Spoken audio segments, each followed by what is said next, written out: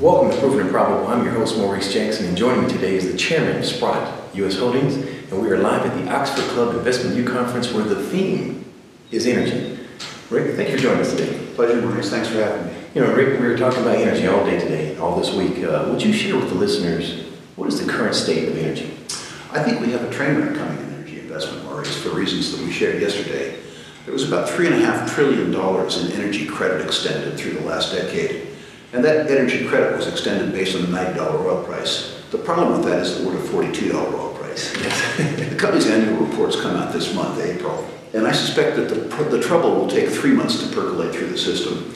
But at some point in time, the conjunction of $40 oil against $90 assumptions and the $3.5 trillion uh, credit problem is going to collide.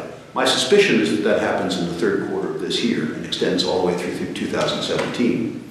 For investors who are invested going into the crisis, it's going to be problematic indeed.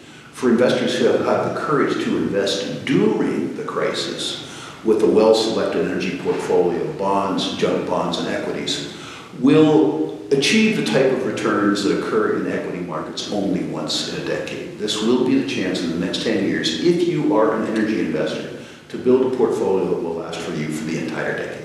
Well, as a value investor, that's the most exciting news I could possibly have. have. Would you share with the listeners what's the current state of uranium? I, I think the uranium market uh, probably is in a very long bottoming process. I was way early on uranium. I was expecting better global economic growth than we got.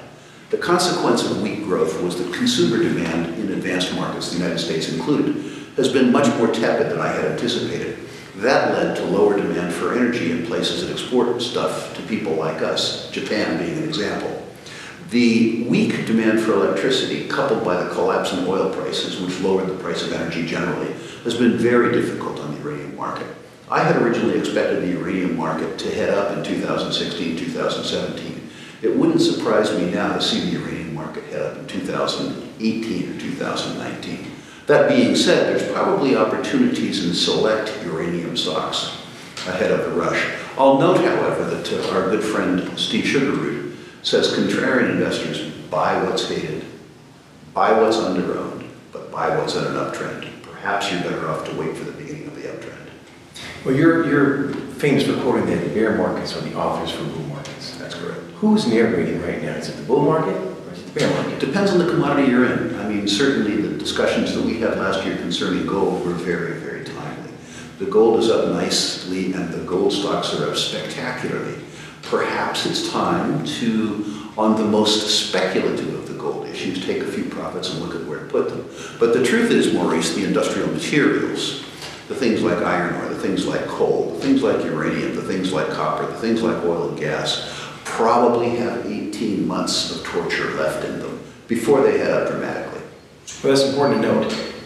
Let me ask you this. I'm an investor. I may not have the time or expertise in the natural resource space. Let's talk about a company that is the preeminent name in the natural resource space. A company you might be familiar with. Let's talk about Sprott Inc.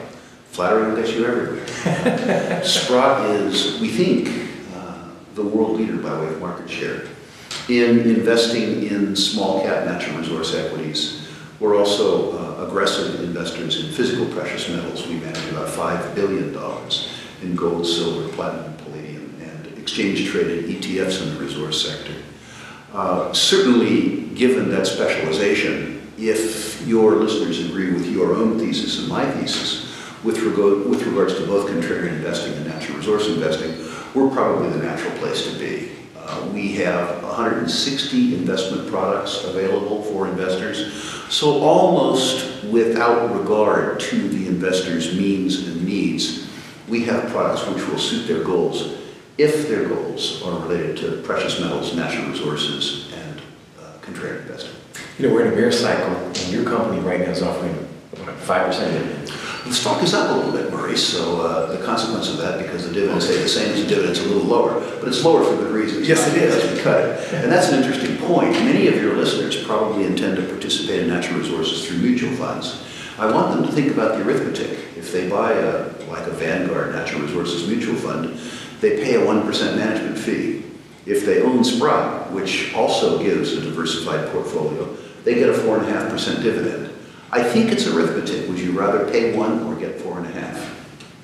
I think the answer is quite obvious. Rick, let's talk about one last thing for me. How about the debt? You know, we're looking at the we're in a bear cycle, and let's talk about Sprott Inc. How much debt do you have? Zero. Uh, Sprott stands for something. Uh, Sprott Inc. was constructed by a guy named Eric Sprott, and Eric Sprott was concerned about debt at the government level and debt in the financial services level.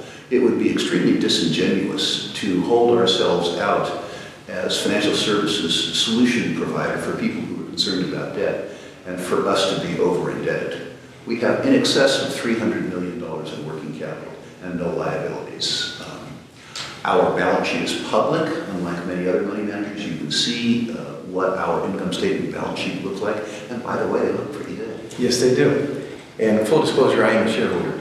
Rick, in closing, for investors that have a portfolio and they're concerned about the health of it, is there someone at Sprott that will take the opportunity to look at their portfolio and give them uh, that's me. Uh, email me, Rick Rule, that's R Rule, at sprottglobal.com. Put your portfolio in the text, and I will rank your portfolio companies on a 1 to 10 scale, 1 being the best, 10 being the worst, with comments as appropriate. Understand that these aren't recommendations, because I don't know you as an individual. These are company rankings, but I'm happy to do it, absolutely no obligation. Rick, it's just one last thing, if we may. What is the, the website? uh, or if you're in the United States and Canada, 800-477-7853. Rick Rule, thank you for joining us today on Proven and Probable. Pleasure. Thank you. Thank you, sir.